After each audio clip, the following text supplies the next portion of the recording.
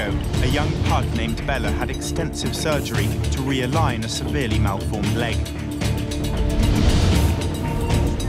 She's been rushed back in after showing signs of distress and has been anaesthetised while Rob investigates.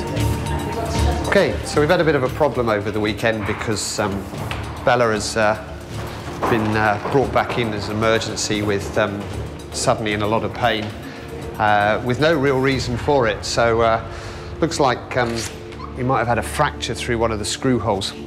X-rays reveal the cause of Bella's pain.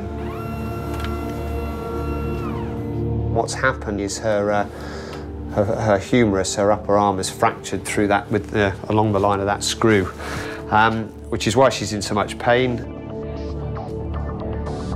Fixing the fracture might not be possible, and Rob faces a tough decision. There's no way that this can be just left. Um, we have two choices here. One, we need to either you know, fix the fracture or, or we need to consider amputating the leg.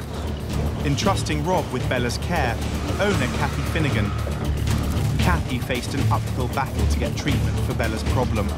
Rob is offering her a chance where other vets have felt unable to help. They kind of did think that maybe with all the money it would cost to fix her and all the problems she's going to have, it may be kinder to say goodnight now. And I kind of like was holding her and I kind of like pulled away as if to say, don't take her away from me. She's, um, and I said, no, not an option, not an option you can't help but love her because she's just got the biggest personality.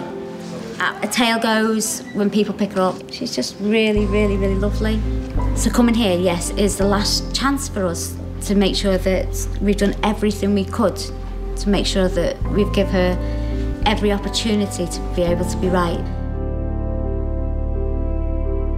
For Bella, um, and you know, with a with the dedicated owner that she has, I think you know, although it is a bit risky, and I think it's worth going that extra mile with her just to see if we can achieve uh, uh, a salvage of the leg.